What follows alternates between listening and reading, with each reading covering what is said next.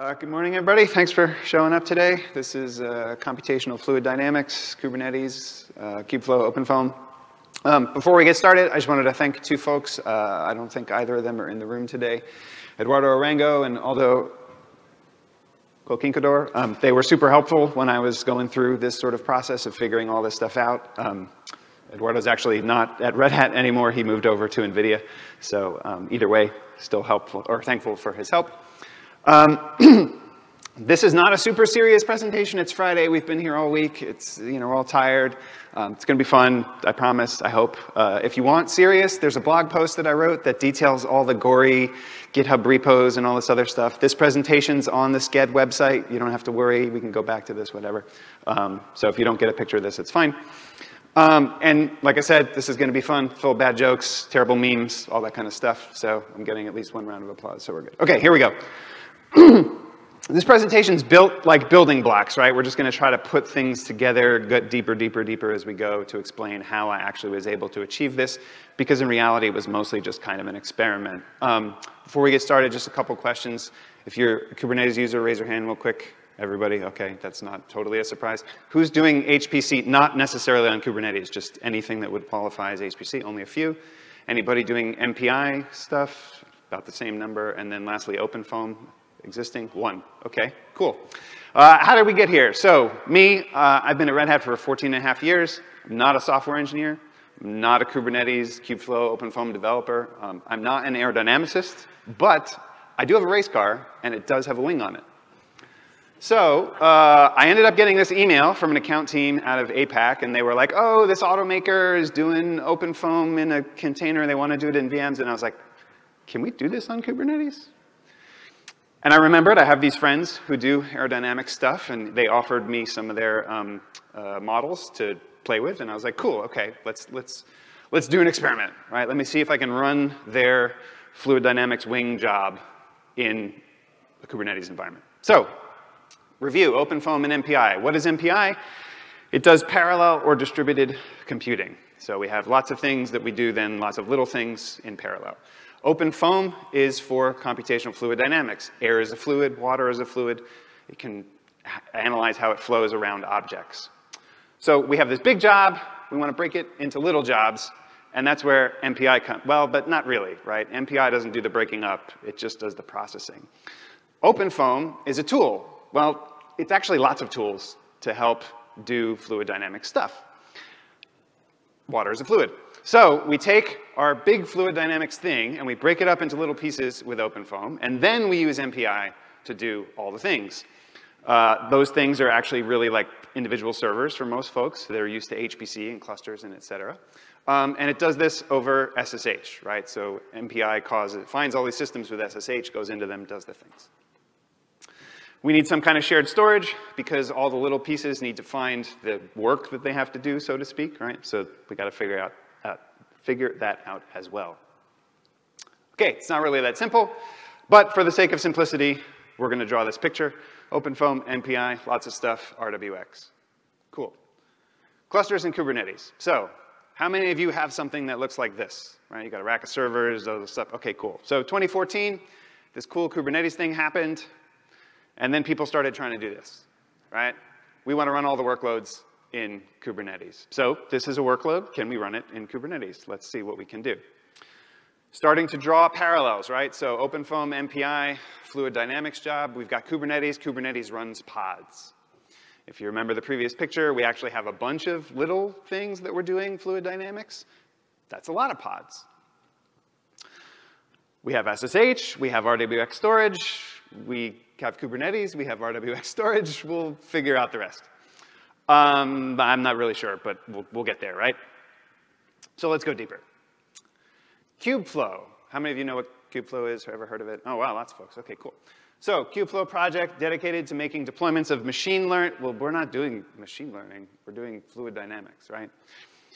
But it has this operator called the MPI operator. Now, it says it's for all reduced distributed training. It's just MPI. Like, we're doing an MPI thing. Let's do an MPI thing. Run the thing. So let's go deeper.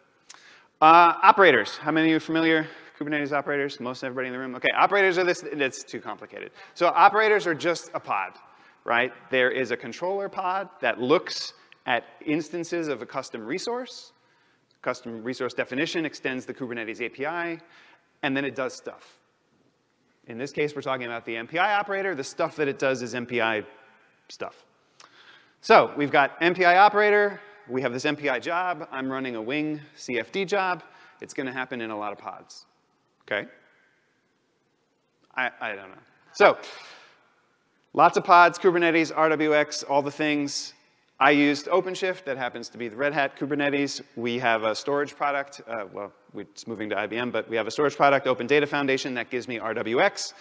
And then we had to do stuff in the middle with Kubeflow. So let's go deeper again. Wing CFD, MPI operator. When you use the MPI operator and you instantiate an MPI job object, it fires up a launcher pod. That launcher pod then runs MPI into all the job pods that do the work. They talk to storage if you have storage defined. Um, and all this happens on top of your Kubernetes environment. Okay? It still does this over SSH, though. It's like, that's gross. And I had to do some nasty tweaks that are in the blog post to make it work on OpenShift, but whatever, we got it working, it's fine. Okay, here we go. So what is the OpenFOAM process? So uh, the first step is this meshing process. You take a 3D object, you break it up into like a meshy thing. Okay, cool. Then you decompose this into lots of small jobs, right? That was the thing we talked about early on. Uh, then you do the problem solving and figure out what the fluid job is, and then you put it all back together. Relatively trivial. So I'm really good at this. And fortunately, the uh, OpenFOAM project provides a bunch of examples for how to do stuff. And I also have these guys to give me things to do. I actually helped Moreland build their OpenFOAM Ubuntu cluster, like they're in Atlanta, I'm in Atlanta. I went over there and had lunch one day, it was fun. Um, okay, so Dambreak is the example job that's provided by the OpenFOAM project. It's a very simple, like water flowing over a thing. Uh, let's try to run that job and see if we can make it work. So what do we actually have to put in here, right? This is where the, the rubber finally meets the road. Uh, trigger warning, there's actually code. It's really, this is not code, it's barely code. So this is the, the dam break example. So you, you do some stuff, you break it up, you run the parallel job, that's the meat, and then you put it back together. So how do we get this, uh, how do I get that script into this launcher pod, right? Well, fortunately, I actually know a thing, at least maybe, about Kubernetes. We have this thing in Kubernetes called a config map. It makes it easy to inject files into the containers. Well, that's just a script. Why can't I just inject that as a file into the container and then make the MPI job run the whole script as the entry point to the work? So that's what I did. I put it in a config map that I defined against the Dambreak job that went into the launcher pod that launched the Wing CFD pods that talked to the storage on the container platform. Okay, cool. And then, yes, it did work. This is what it looks like. It was doing things. The first one is the Dambreak job. The second one is Motorbike, which is another example within. This is the OpenShift user interface that just shows like, hey, they're using CPUs, there's pods, stuff. That's the log output from OpenFOAM for the one person who's using OpenFOAM. They've seen that a lot. They spend a lot of time looking at that text. This is the Moreland job. Um, this is not really a picture that I generated, it's one they sent me. But that's what I did. I ran this job and it worked. Well, it, sort of. Um, remember this picture? I, I, don't have one of these. I got this. I, I, wish that was me. That's not my laptop. It's not my background. It's, it's, that'd be a cool place to work every day, I guess. Or just really humid and mosquitoes. Anyway, so I didn't have one of these. I did have one of these. I, really, I had that, right? So uh, fortunately, I didn't spend a lot, but I did have this. So again, I just kind of was messing around. Uh, I used M5A 4X large, which are not compute optimized instances. Uh, I was like, all right, well, let me do two CPUs for pods. I'll just do a boatload of pods, because more is always better, right? Um, 512 CPUs, it took five hours. And Moreland was like, man, that's really slow. And so the reality is, you have to know what you're doing, right? Tuning, tuning, tuning, tuning is important. Um, I'm not really sure, you know, I, I could have used the compute optimized instance type. I was probably, uh, I probably should use bigger pods that are using like the whole server instead of like lots of tiny ones. Um, maybe I was over slicing the job. You know, when you, when you have the surface and you break it up into lots of little pieces, you end up with overlap, and then you're basically just reprocessing the same things over and over that get edited out at the end when you put it all back together. Or just know what you're doing, right? Actually be an aerodynamicist and know what any of these things mean.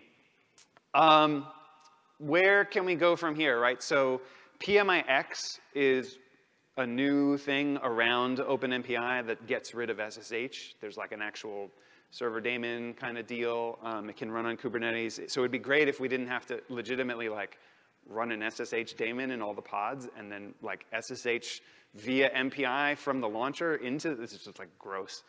Um, of course, more tuning. Um, NVIDIA is working on doing um, uh, GPU enablement for this particular project for OpenFOAM so that you can use um, accelerated uh, processing via GPUs.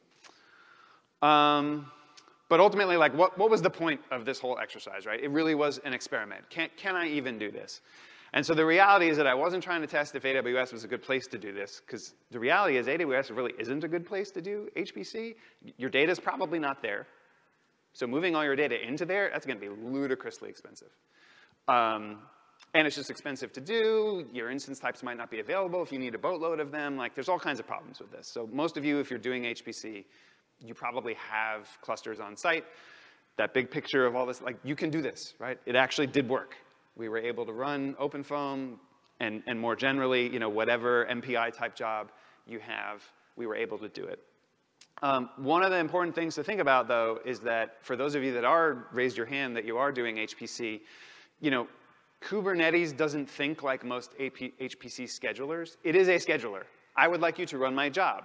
It will do it.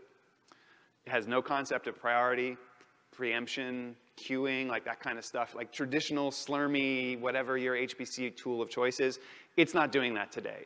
But there's a whole army of extensions and schedulers and other things that are coming about that are doing those things. Red Hat is investigating how we can do some of them.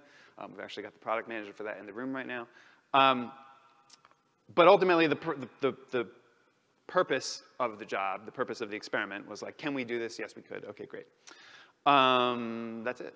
That was really fast. Wow, that was like barely 12 minutes. Um, so yeah, ha happy to answer questions. I realize, again, this was supposed to just be kind of a fun, happy one. Um, but yeah, that's all I got for you.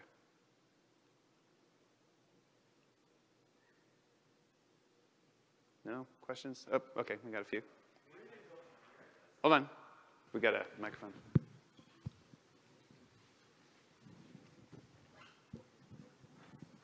Uh, great talk. Um, so where where are you going to go from here now? Like, is is this project done? Was this just kind of like? Yeah. So um, it's good. Thanks for asking that. Um, I, am talking to the NVIDIA folks about it. They're they're interested in figuring out how we can do that. Um, I've I've done NVIDIA GPU things on AWS before on OpenShift and Kubernetes.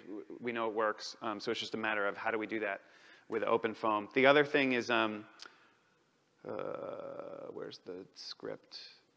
So like these steps, it, I was thinking about it yesterday actually, it doesn't really make sense to do all these steps in the launcher pod. Maybe it would make sense to like do the pre-processing and, and decomposition in a Tekton pipeline and then take that and then attach that as a stored object into the uh, launcher pod and then just run the MPI thing. And then when that job finishes, do another Tekton pipeline to run reconstruct. Like, does that make sense? I don't know, maybe. Um, it would probably work, but like how much effort would it be to actually automate it? Would I need to write a Tekton task to, to launch the MPI job and then like another, so I don't know. It's, it's an experiment that I'd be interested in doing. Um, but that, that's kind of the like, where, where would it go from here? And then um, trying to figure out some performancey stuff. Uh, where were we? Yeah, here. So rejiggering some of this, make it look more like Moreland's environment, um, and see if I can, you know, get close to the performance or whatever. We we do have some clusters and, and labs at Red Hat that I could run some of these things in, um, and then just figure out, you know, like, is there more storage optimization that I need to do, or or those kinds of things. So. That, that's kind of where, where does it go? You know, again, it was really, it was a, a thought-ish experiment, like can we run these types of jobs? Um, Grav, like I mentioned, is the PM that's handling a lot of the HPC stuff. Um, just doing more HPC things um, like this, not necessarily more OpenFOAM, but just other HPC things and see how do they work and just lots of blogs and other things. It's a long answer.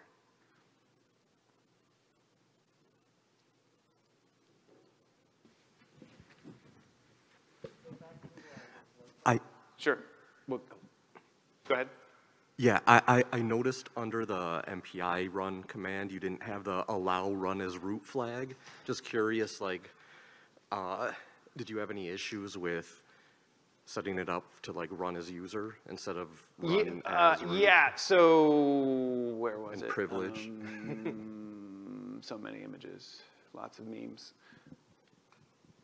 Nope, that wasn't it. It was, I don't remember. Anyway, we'll, we'll, we'll stay here. Um, so the, the, most of the challenges I had were because of SSH and because of the OpenFOAM container.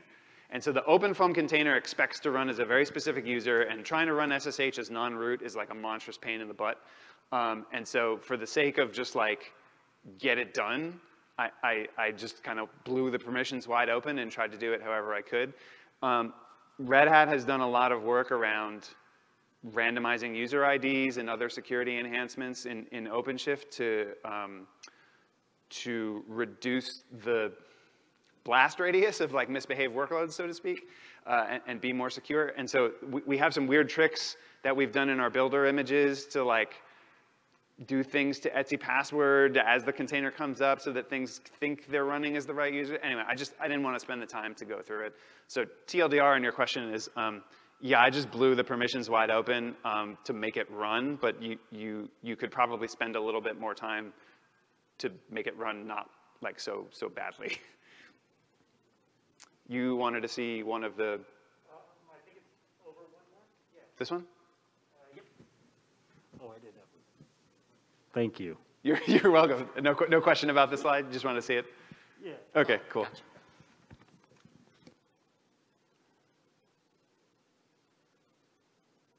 Yes.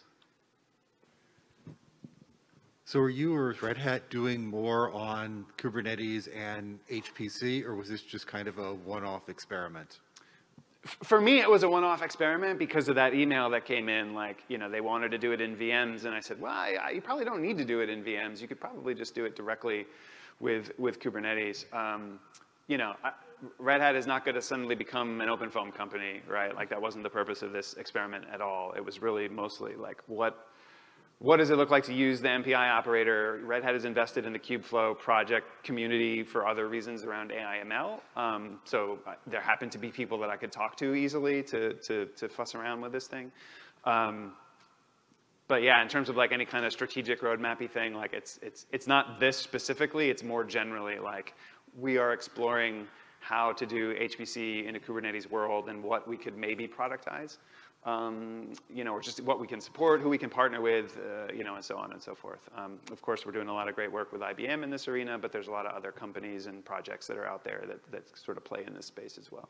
Okay, and if, I was going to do a follow-up. Uh, we got time. Okay, um, when you were running in AWS, were you using their MPI drivers? No, so OpenFOAM and OpenMPI and Kubeflow don't require any kind of special drivery bits. Um, it was really just, I did a vanilla OpenShift installation on, um, on AWS. You probably could have also used EKS on AWS. Um, I used the um, Open Data Foundation because I needed RWX. Uh, you probably could have used EFS.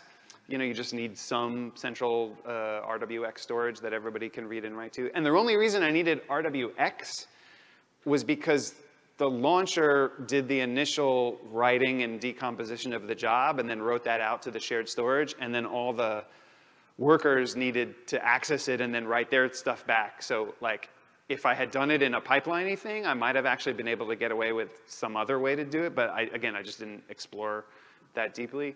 Um, but yeah, there was there was nothing special about the way I was using AWS or what I was doing on AWS. If I had had a large cluster of hardware like at, at my disposal internally easily. Um, I mean, we have a lab like my group. I just didn't feel like figuring out how to, how to use it. Uh, this was easier. I, there, we have a system. I can order a cluster. It's like, uh, well, it's this guy. Anyway, yes, sir. Uh, question for context. So what is Moreland's workflow right now then, if they're not using something like this? What are they doing Uh, he, he has a rack of old Dell 1RUs. I think he's got like six or seven of them or whatever um, that he was using. And, and it was mostly like, I wasn't trying to get them to go Kubernetes or anything like that. It was more like, well, I, I know somebody that uses this tool, so I can at least poke them for, you know, if I run into, run into a jam. Um, but yeah, their, their existing workload today is just 100% bare metal.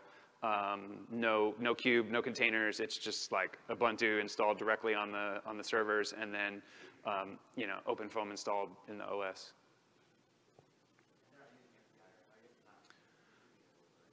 Well, no, he, I mean, it's, it's, it's using MPI, so, so he's got a head server. Uh, I mean, it looks a lot like that in a way. Like there's a head server where the, he runs um, the, the pre-processing stuff, and then that's done on a NFS share. The head server is also the NFS server, and then they do MPI run, which then goes out to the other pow more powerful servers, um, and then they are pulling from the NFS share and doing the actual processing, and then the reconstruct happens at the end, and then it spits out the cool image.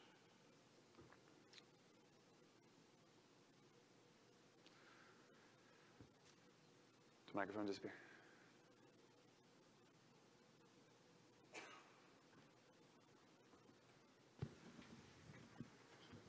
Hi, great talk. Um, I, I was curious with regard to, and I'm not super familiar with OpenFOAM. Uh, do you have to, how do you handle the scheduling of all the, yeah, so all the, all the parts on, on the, on the right-hand side, do all of these need to be scheduled and do at like one go? Do you, essentially what I'm trying to say is, is this a gang scheduling problem that uh, we are trying to solve here? Yeah, so I'm going to partially answer your question because I don't fully know, so, so take what I'm saying with a grain of salt. The MPI operator in the actual job definition, and I don't have the, the full job definition, you, you write a pod spec effectively for the launcher and a pod spec effectively for the workers, and you tell it how many workers you want. When you run the job, or, or sorry, when you instantiate the job instance, uh, the CR, the operator creates the launcher pod and creates all of the um, worker pods, and it, it pretty much expects that they all can run at that time. And I think if it can't run all of the workers, it just sits there and waits. So it doesn't like run one of them ahead of time and wait for it to Yeah. finish, and then, oh, now I can fit another one and run that on the back. So I guess it is a gang operation. Like it wants it all to Yeah. happen at once. I don't know if that's a limitation on the MPI operator, like if, if there's a way to tell it, like it's okay to run something ahead of time. I, I just never looked into it any deeper. And when you ran this on a cloud provider, AWS in this case, uh, did you have to like pre-scale the compute to be able to handle all those parts and then scale it down? So I, I, what I wanted to do was I actually wanted to do this as a cluster auto-scaling job. And so the way OpenShift is built, and, and you can do this with, with most of the Kubernetes, um, there's a way to make OpenShift auto-scale itself based on workload demand. And so what I was hoping to do was have like nowhere near enough actual nodes and then run this job. And then when the cluster autoscaler detected that there were pods waiting, it would start jacking up the number of nodes to actually run enough stuff. But I just, I didn't, I didn't get there. Um, so you wouldn't, you wouldn't necessarily have to have that ahead of time. The only caveat, I guess, is I don't know what the timeout is, if any, on the MPI job operator. And so if it took like a really long time to get enough nodes to then schedule the pods, I don't know if the job would have already failed because it was like, oh, I, I, I didn't get to do it, never mind, I give up. Like, I'm not sure what the timeout kind of deal is. Yeah, that makes sense. The, my next question is on, uh, I think you mentioned that multiple pods were running on like one bare metal instance, one VM. Is that uh, accurate? Did you see resource contention when multiple pods were running on the same VM? Yeah. Um, no, I didn't see resource contention because the pod, when you write the pod spec, you specify like a, lim, uh, a request and a limit to do the best, sorry, guaranteed quality of service Yeah. tier. So for those of you who've ever played with the quality of service tiers in Kubernetes, like you've got requests and you've got limits. If they're the same, it says like, make sure I absolutely have that much to run or don't run me. Um, and then underneath the covers, you know, the Linux kernel and C groups and the scheduler and all that other stuff, make sure that there's no contention.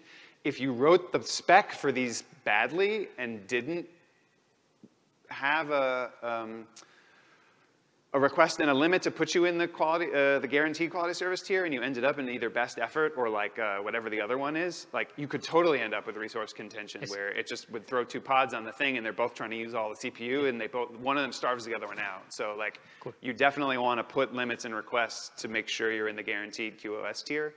Um, Yeah. Otherwise, you'll, you'll end up with contention. Yeah. Excellent. But that, that's like normal. That, that's not specific to the HPC stuff. That's like generic Kubernetes stuff. Yep. Thanks.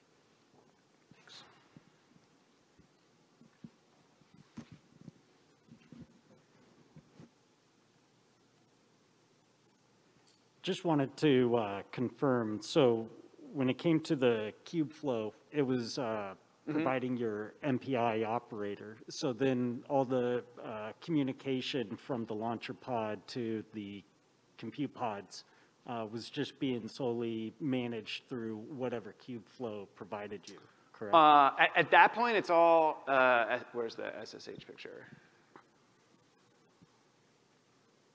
So it's, it's all still SSH between the, um, the launcher and the workers. So the operator ensures that the launcher pod is created and the worker pods are created. Once all of the pods are up and running, the JA uh, or the script will run inside the launcher. And that MPI run command, MPI itself will then look at the, the host file to find, well, it'll look at the MPI host file to find all the targets, but those targets are all just pod names. And so then literally like MPI fires off a bunch of SSH connections into all the workers and then executes whatever, what was it? Um, yeah, so that MPI run MP4 interFoam. So everything after the four is what gets run um, effectively on each of the workers. Okay. Um, so so the, all the Kubeflow, all the MPI operator part of Kubeflow is doing is watching for those, um, that's not bright enough. It, just watches for these and then creates the pods and then executes the command. It's not managing any of the like communication-y stuff. That all happens effectively over the Kubernetes service layer.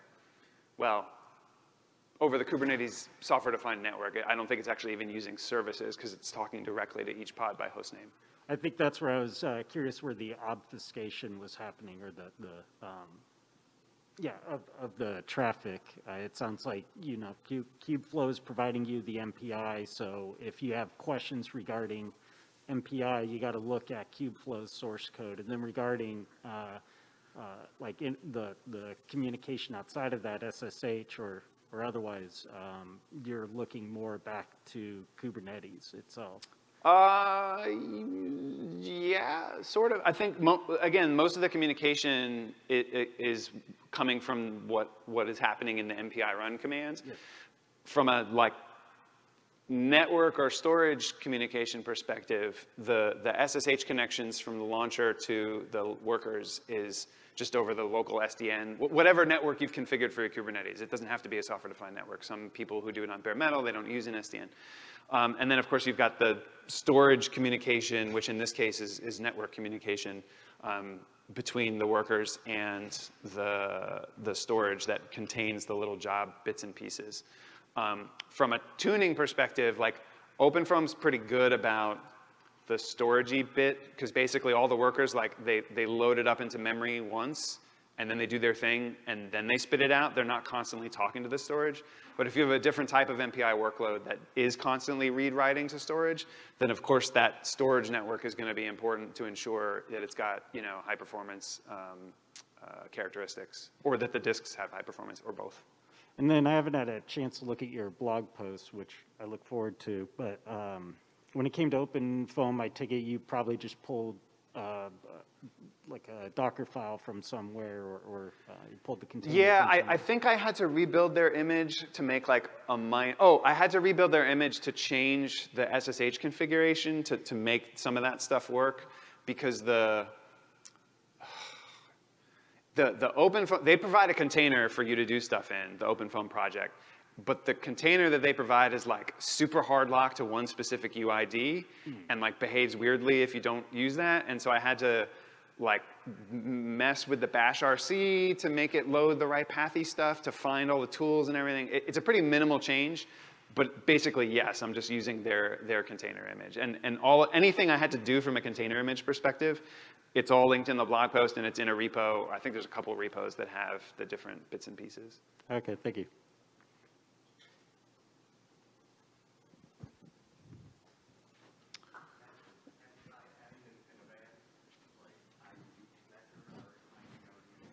I, I have not. I know we have customers that do do some of those more advanced network storage things. Um, I don't even know that I have access to InfiniBand. Somebody at Red Hat somewhere in a lab has, has InfiniBand that I could try.